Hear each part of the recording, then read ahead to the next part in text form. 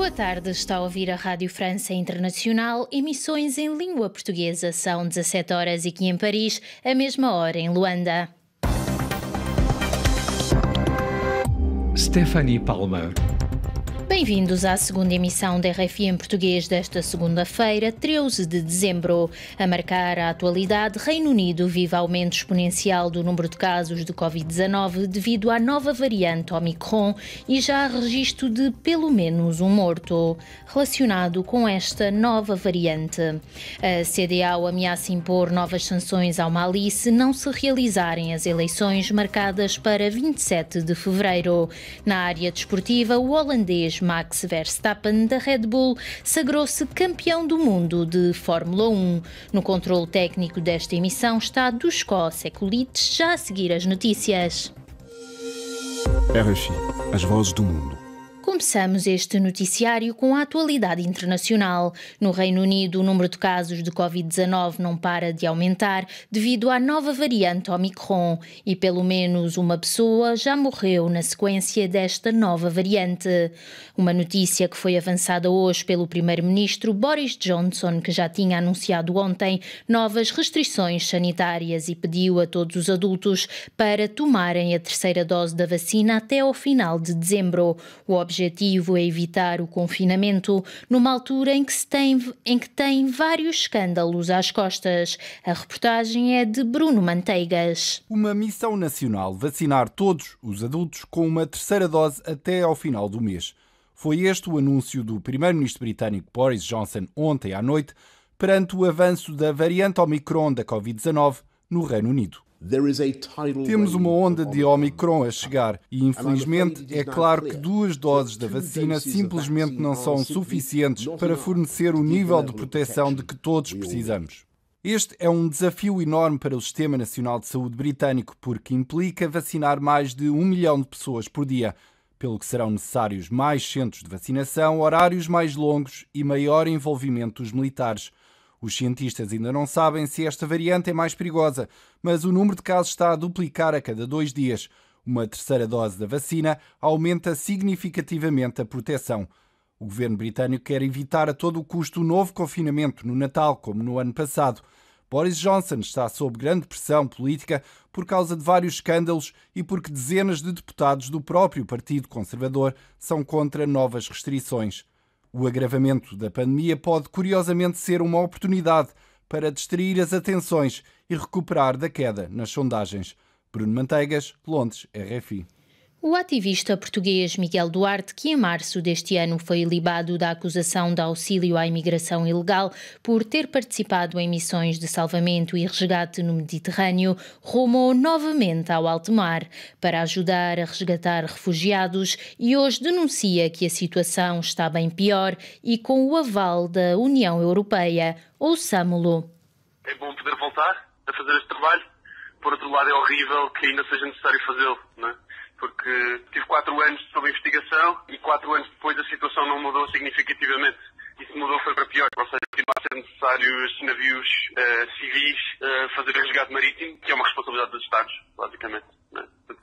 Cada vez vemos mais uh, criminalização da migração, cada vez vemos mais apoio por parte dos Estados europeus à, à, Guarda Costeira Líbia, por exemplo, que depois com esses fundos e essas armas praticam crimes segundo a lei internacional, como levar as pessoas de volta para a Líbia, por exemplo. E pronto, e nesse sentido foi é bastante triste que tenhamos que ainda fazer isto. O que tem acontecido basicamente é cada vez menos ajuda por parte dos Estados europeus às, às, organizações não governamentais que fazem resgate marítimo e, por outro lado, cada vez mais eh, fundos europeus eh, vão para financiar a Guarda Costeira Líbia que ameaça de morte as organizações não governamentais europeias, por exemplo.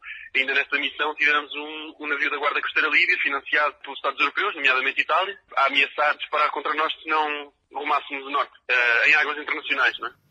Era o ativista português Miguel Duarte num registro recolhido pela agência de notícias Lusa. Maputo 105 FM Passamos agora para a atualidade africana. Em Angola, a polícia abriu um inquérito interno para apurar a morte de um militante da UNITA durante uma manifestação na província de Benguela. Eugênio Pecela, de 41 anos, participava na marcha organizada no sábado pelo Secretariado Provincial da UNITA em Benguela.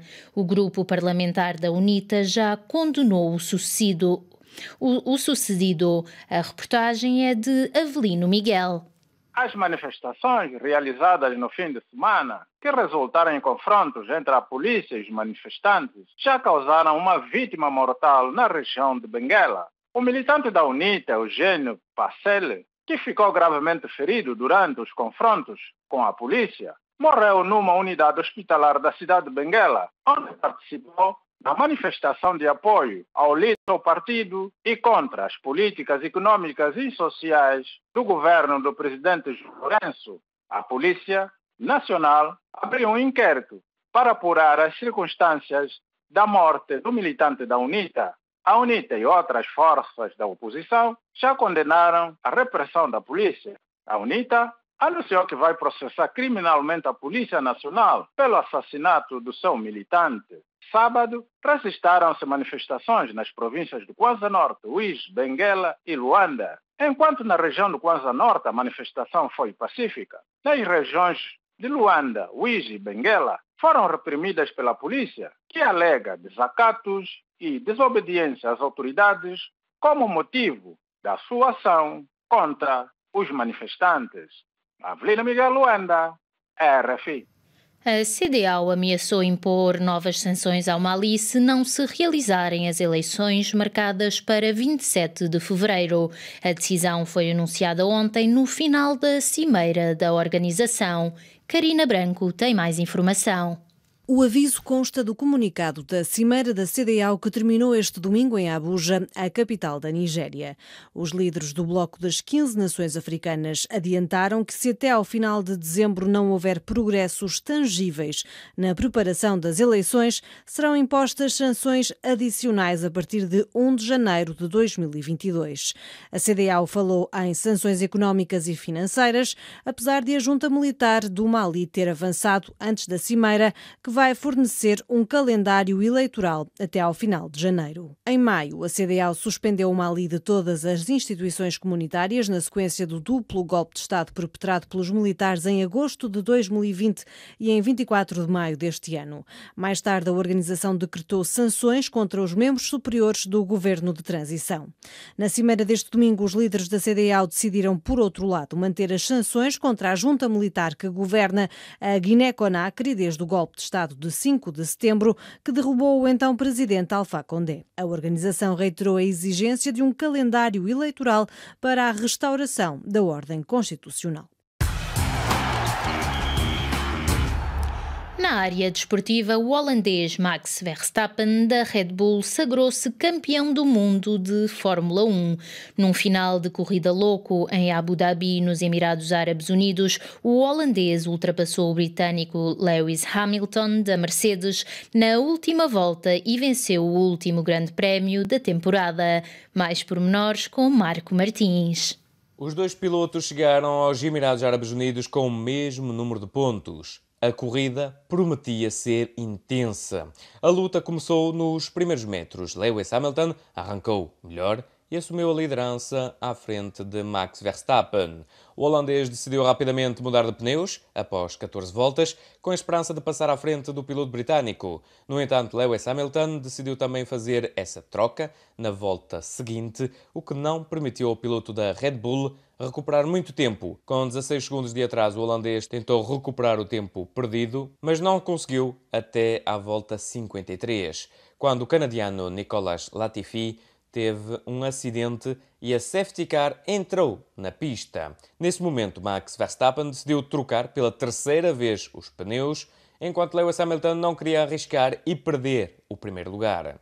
No entanto, os comissários decidiram retirar a safety car antes da última volta, com os dois pilotos juntos na frente. Max Verstappen tinha pneus novos, ao contrário de Lewis Hamilton. Na última volta, na volta 58, o holandês ultrapassou o britânico rapidamente e acabou por conquistar o Grande Prémio e o título mundial. E assim chegamos ao fim deste bloco informativo. Continue conosco para a segunda parte da nossa emissão. Nossa emissão.